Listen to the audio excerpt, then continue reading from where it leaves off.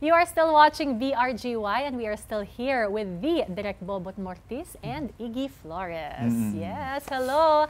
Kanina pinag-usapan na natin yung good old days sa Going Bulilit. How many years ago was that, Iggy? Um, Nagsimula, ah, nagsimula ang bulilit, ano eh, 2005. 20 years ago. Almost, mga- direct mga 19. four- Hindi naman, mga ano. Ah, ah, naramdaman niyo yung 14 tandaan niyo, no? Nakasama Ako din na pa. Oo, kakatuwa.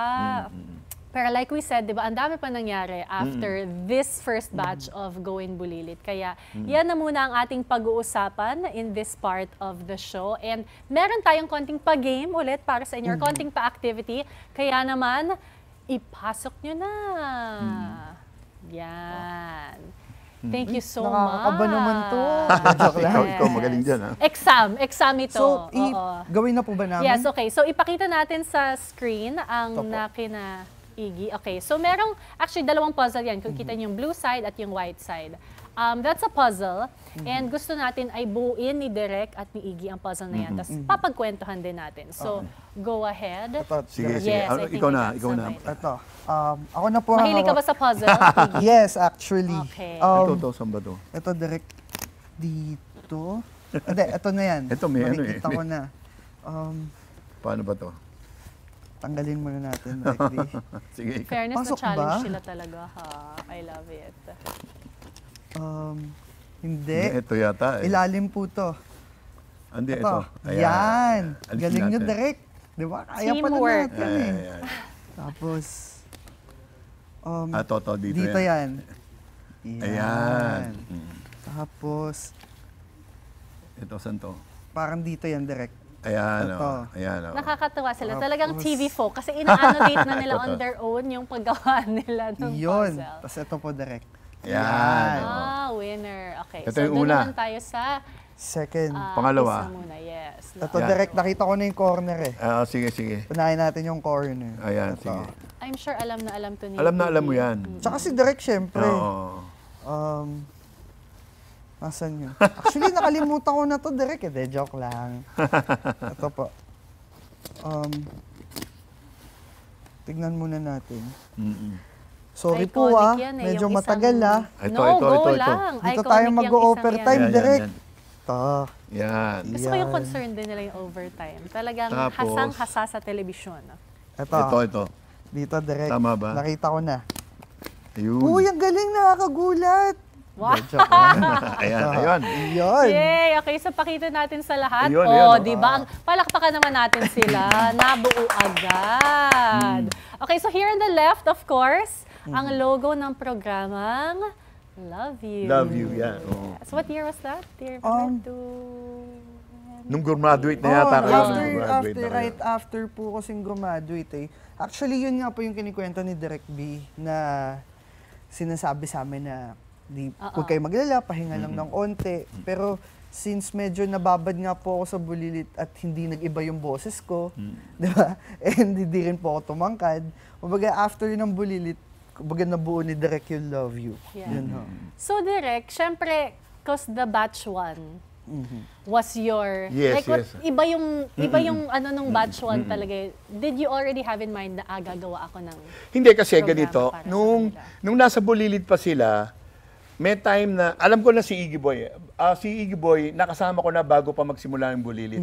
Nung meron akong sitcom dati yung Ariba Ariba, nag-guest namin si Iggy Boy. So itong Going Bulilit, matagal na sa utak ko to na gusto Yes. kong gumawa ng TV show na mga bata na pero ang gagawin nila yung adult. So nung Yes. kaya nung nagbuo yung Going Bulilit, alam ko na nakasama si Iggy Boy. Ngayon, may time sa Going Bulilit na magkakasama si Miles, si Catherine, si Julia, Julia. ah, si Mara, si Jane, at saka si Kiray. Yes. So nag-uusap sila ngayon. So pumasok ako, tapos para lumapit ako sa kanila, sabi ko sa kanila, alam nyo, kayo, ikaw, alam, ah, sabi ko, ikaw, ano ka, ito pupuntahan mo, ikaw, ito pupuntahan mo. Ganon, si Kiray, ito. ganon. So this was off-cam, behind the Off cam, scenes off to. cam. oo. Tapos si Jane, ito, ito baka magsisexy to, parang gano'n. So, nung graduate sila, kinuha na si Catherine at si Mara. For Mara Clara. Oo, for, oo, for, ayun, tama. Ang pangalan tapat ni Mara, ano eh, pinapangalan, ang gusto nila, sabi nila sa akin, ipangalan mo yan dahil ako yung, ako yung nagpilit talaga kay Mara, kay Julia na masama sa Going Bulilit. Yes. Kasi Sorry, for everyone's uh, for, for everyone's information, Mara is Julia Montero. Yes. Oo. Yes. So nung nung ano kasi siya, medyo hindi naman siya komedyante, tahimik na bata Yes, si ano. actually. So parang kung tutusin, ito nga pinag-ano namin, parang hindi siya pumasa sa audition, pero nung nakita ko siya, sabi ko, hindi kunin natin to kasi may pupuntahan. So nung nung pinasok namin siya, bari ika siya yung ika pang sampu na babae, no? So ngayon nung pumutok na siya at kukunin na siya, ang gusto ng management, sabi, o direct pangalanan natin to Mara Mortis. Sabi ko, hindi, hindi, hindi, wag naman. Wag naman Mara Mortis. Sabi ko, Nagkaroon ng isa pang daughter. ang gusto kong pangalan niya, Mara Montes. So pumayag sila, Mara Montes. Kaya lang, ang unang-unang ginawa ni Mara, Mara Clara. Yes. Kaya binago ni Miss Rem ang pangalan niya, ginawang Julia, Julia. Montes. So ngayon, na, ang nangyari, na, may ginawa na si Catherine at si Mara. Kaya nung ginawa ko yung Love You, ang casting talaga nito, yung natitira, si Miles, si Kiray, at saka si Jane. Yes. Tapos kinuha ko si Iggy, si CJ, Yes. at saka dapat to si John Manalo. Ang ano, ang bida. Ang kaya lang nung binubuo namin to, parang may, ano ba ginawa ni Jane? Meron, Meron siyang, siya pong ginawa na serye direct. may ginawang serye siya. So n- nawala si Jane. Ang natira si Miles at si Kiray, di ba? Tapos si John din nagmaraklara nung time na yun. Oo. Kaya- Mm. Tsaka si John, ano, parang iba yung pagkaano. So, kaya binuo namin yung binuo, na, nabuo namin yung Love You. Mm. Grabe, nakakatuwa kasi nga y- na-continue nyo eh, yung working relationship nyo sa Love You. And I'm sure quite an experience din yun for you. Sobrang, sobrang daming. Kasi syempre, aminin ko naman, nung, yung, yung memory ko nung Going Bulilit, sobrang select lang dahil Yes. syempre nagde-develop pa yung brain. Pero yung nung time na Love You, as in yun, kumbaga, Naalala mo na talaga. sobrang sobrang saya nun. Kumbaga, dam, nakabuo rin kami ng family with with Kuya Smokey, Miss Joy Veado. Yan, so ang dami rin naming nabuong memories. Marami, may mga bansa rin kaming Oo. napuntahan nila direct. Yan.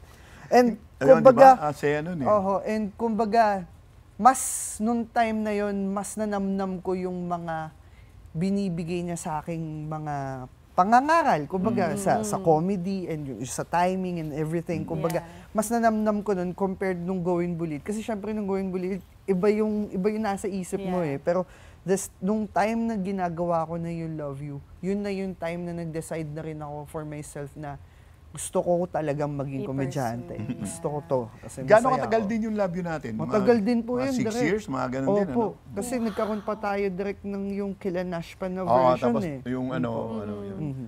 Kasi yun yung idea ko eh, dapat bata, tapos naging teens. Mhm. Yes. Tapos kung naalala nyo, ako rin yung gumawa ng Let's Go. Doon ko yes, sana of sila course. dadalhin The eh. Go Kada. Doon yung Let's Go, di ba? Let's Go. Ah, doon, Yeah, doon ko naman na doon naman namin na discover si Bang, si Alex, Alex. Gonzaga. Yan. Mhm.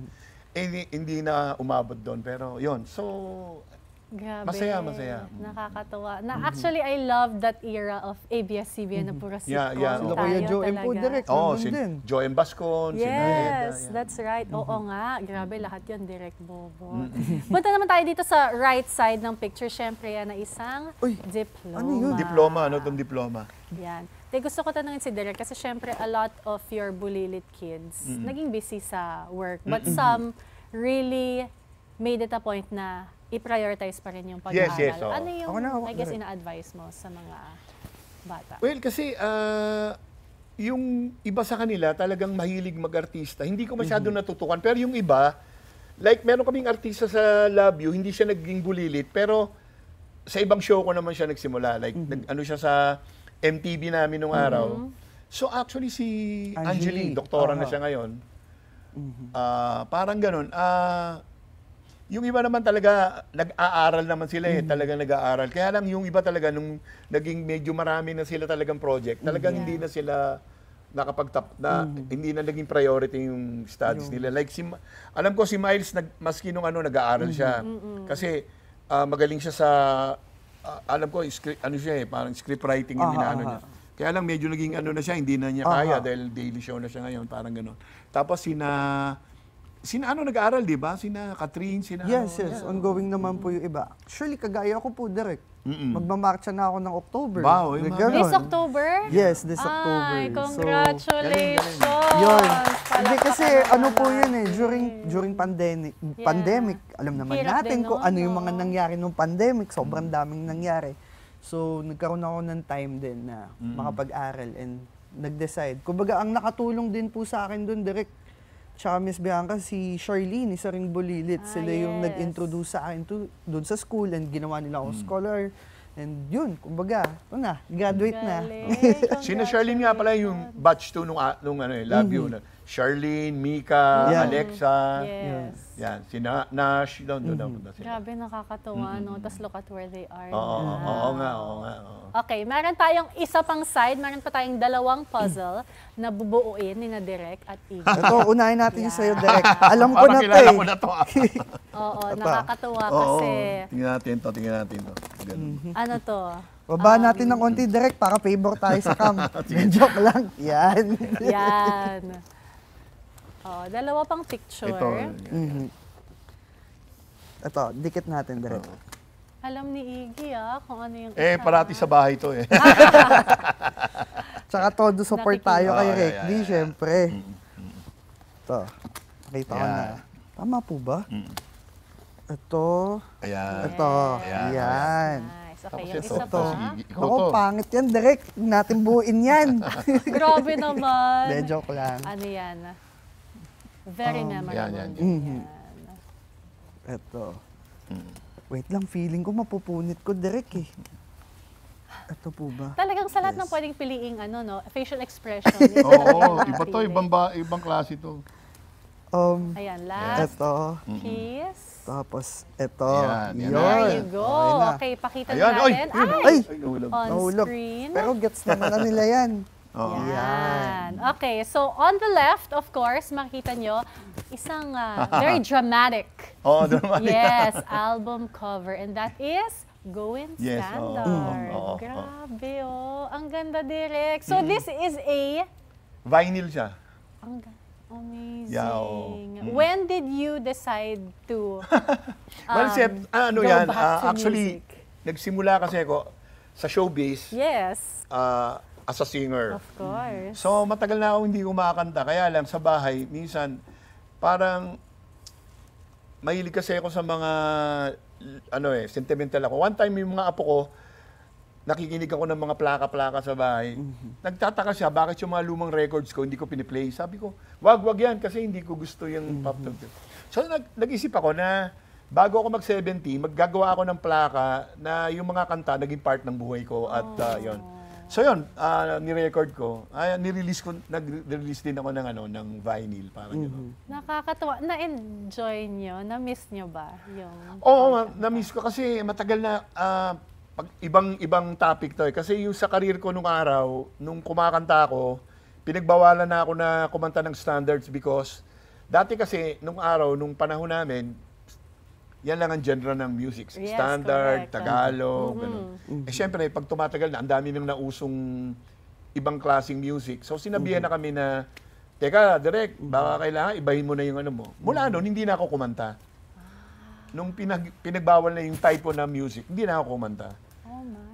Maski nung nag-bad bananas kami, kumakanta ako, pero grupo, never ako Yes. nag-solo. Ngayon na lang ulit ako nag-solo. Oo. Grabe. Kaya ginawa ko yung plaka. Pero, So, yeah. direct, di ba available din yan sa streaming platform? Yeah, yeah, sa lahat ng ano, Sorry. ayun. Oo. Lahat ng PR streaming manager. platform available siya. Yes, Oo. yes. How did it feel to, lalo na, direct, the last time you sang solo, sabi mo nga, napaka tagal na, eh, ibang-iba na yung technology ngayon. How did it feel to re-record ngayon na iba ano na ni yung bago ako, ano din bago ako. Pero siyempre, sinabi ko, gusto ko parang old old na old na feeling. Kaya ano to, walang computer. Lahat ng music ko dito live.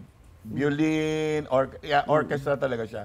Hin- Hindi ako gumamit ng mga synthesizer na ano. Yes. Lahat sila live. Galing. So talagang parang lumang kanta talaga siya. Ilang tracks ito, direct? Eight sa lang Gold siya, eight. Standard. Galing. Curated yan, carefully chosen songs Oh, yeah, yan, yeah. I'm sure. Oh, nakakatuwa. Okay, dito naman sa kanan, ang huling puzzle natin, syempre. ano yan, nakikita natin sa hit series, The Iron Heart. Yan. Talagang gu- gulat yarn. Actually, ano, Yung ano bang eksena to? Ah, galit ako dito. Galit. Galit, Galit si ako. Coles. Ah. Oo. What was that experience like, doing The Iron Heart? Um, sobrang, ano eh, sobrang grateful. Pero at the same time, may, hindi ko masasabing challenging kasi, ano eh, kumbaga bulilit pa lang, kumbaga ginagawa ko na yung mga roles na galit na tatay, galit na kuya. So, medyo okay sa akin. Pero kasi, nung may mga, may mga roles ako na parang, may mga moments pala nung doon sa career ko na napapaisip ako na parang, parang gusto kong may bago akong gawin. Parang gusto kong ibang igi yung ipakita ngayon. And kumbaga, dumating nga po yung Ironheart and kumbaga thankful ako. Maraming salamat Star Creatives. And kumbaga binigyan ako ng opportunity na maging sidekick ni Richard Gutierrez nung time na yon. So, akala ko nung una, comic relief, typical, typical na role na komedyante. Tapos nagulat ako nung binabasa ko yung script. Ang bibigat, ang bibigat ng mga eksena. Pero kumbaga with the help of Direk Lester and syempre ng ibang mga directors din natin, nila Direk Ace yan, kumbaga nila Direk Ian, nila Direk Ian, Direk IDL. So, kumbaga natulungan din nila ako mailabas yung emosyon. And syempre yung mga co-actors ko rin. And yung mga stuntmen, talagang iba, yung fight scenes, fight sequence, kumbaga super professional lahat. And nagawa ko rin naman ng tama. And siguro malaking tulong din na may history din ako with boxing. So, yun, nagbabox kasi ako before. Hobby ko siya. And kumbaga yun, na-showcase ko yung iba ko pa palang Hindi, talents. tsaka swerte sila kasi magaling kang komedyante. Naku, hindi po direct. Ah, Hindi, alam mo, totoo. hindi, totoo to. Ah, pag magaling kang komedyante, magaling kang dramatic actor. Hmm. Pero kahit magaling kang dramatic actor, pag magaling ka maging na maging komedyante, sigurado magaling ka mag-dramatic actor. Pero hindi lahat ng dramatic actor magaling sa comedy. Exactly. Sabi Pero nga nila, di ba, like you, naririnig, Yes, yes. Ah, mas like- madaling magpaiyak kesa Yeah, like magpatawa. sina Robin Williams, Tom Hanks. Hmm. Hindi pa yan, mga bago yan. Maski nung araw, like sina Charlie Chaplin, sina Walter Matthau, Tito Jack Dolphy, Lemmon, direct. di ba? Magagaling sila. Mas magagaling. Pag magaling kang komedyante, definite, sigurado magaling ka magdrama.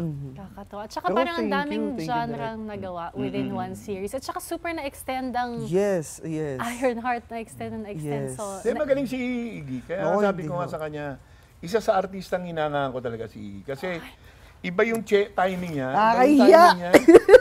timing niya. happy birthday, No. Iggy. Hindi, pero kumbaga... Yung masabihan ng gano'n ng direct Bobo. Hindi, pero My dati God. dati pa naman, and kumbaga after ng lahat, lagi kong sinasabi kay Direk, syempre, na maraming salamat for always believing in me. Yeah. Kumbaga yun lang. sa bulilit since. namin, pag may mag magulong eksena, lagay mo na si Iggy Boy, pag matapos na yan, parang gano'n. Intindido niya kaagad eh, intindido niya eh. Parang ganun. Reliable, Yeah. dependable. Di naman po. yun. Pero kumbaga, sa tulong din yun ni Direk. Kumbaga, gaya ng sabi ko kanina, lahat ng nakikita niyong Iggy Boy, lahat ng to wala kung wala si Direk Bobo. Hindi naman, hindi kumbaga, yun Meron yun din, yun. ah, natulungan ko lang kayo na ipakita ko lang yung Mm-hmm. mga talent nyo. Kaya yung mga artista na nanggaling sa Bulilit, pag napapanood ko sila, di ba, nakakatuwa Mm-hmm. talaga. Oh, I'm sure. Iba talaga nagagawa ng ano, no? ang nakikita ka sa story nitong magtatay na ito is ah, iba yung power ng pag may naniniwala sa yung Yes. tao. Oo, yes. Yung nagagawa yun for you. As And in- you have done that to so many artists. Even din. outside projects po, I mean,